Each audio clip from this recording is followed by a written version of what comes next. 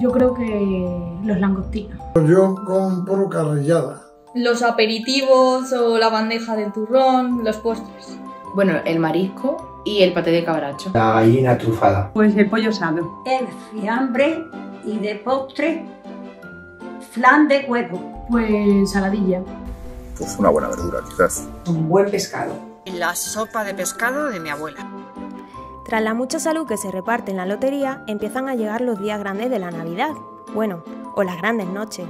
Para algunos la Nochebuena es el arranque real de la Navidad. Para otros incluso el culmen de la fiesta. Lo que es seguro es que en esta fecha tan señalada nos falta comida, alegría ni nostalgia. Sí, hacemos un pequeño aperitivo con toda la familia. Sí, un picoteo. Y a la cena, pues un aperitivo, algo un poco especial. Pues sí, me gusta hacer alguna bebida por, por la tarde, principalmente la sangría de sidra es la que más me gusta. Sí, solemos sentarnos en familia a tomar algo antes. Era la tradición de que los niños cogíamos panderetas y pasábamos por todas las casas cantando villancicos y pidiendo el aguinaldo. Allí sí que se reunía, la gente pasaba por las casas, cantaban villancicos. Era una Navidad de las de, de las que salen en, en películas o cuentos. Era una... Eh, siempre solemos comer marisco. Normalmente marisco y carne. Aperitivo marisco, jamón, fiambre, pollo tostado, y solomillo, todo viene bien. Eh, todo lo que viene siendo ibérico. Prácticamente nunca hemos llegado a los segundos.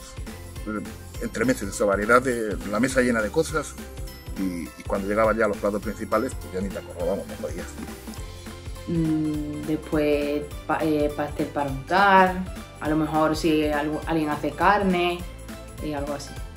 Y en fin, con cosas así, ¿no? Entre meses. De, de, risa, la verdad es que en mi familia siempre estamos riéndonos unos con otros. Y luego ya cenamos en familia y bueno, es una noche familiar, completamente de familia. Pasamos muy bien, nos llevamos muy bien y lo pasamos muy bien. Estamos todos muy, muy en familia y es un sitio, es un momento muy agradable para todos. Pues un ambiente muy familiar. Agradable y muy familiar. Mucha fiesta, mucho jolgor y cachondeo. Familia, alegría. Yo de pequeño recuerdo que la Nochebuena era algo especial. Hay una época cuando los tienes hijos y los hijos son pequeños, pues bueno, en cierta manera rememoras, revives un poco un poco aquello. Van pasando los años, la verdad es que cambia un poco, cambia, cambia mucho el, los sentimientos que tienen. ¿no? En muchas ocasiones va aumentando lo que es la nostalgia digamos, cierto eje de tristeza frente a ese entusiasmo quizás de, de, cuando eras niño, porque era algo muy especial. Pues el ambiente es insuperable, muy bueno. Y aunque termino muy cansado, pero al final son muy feliz por verlos a todos juntos. Hasta aquí hemos llegado, pero como dice el villancico, esta noche es Nochebuena y mañana Navidad. Muy atento a nuestras redes, que mañana hay mucho más.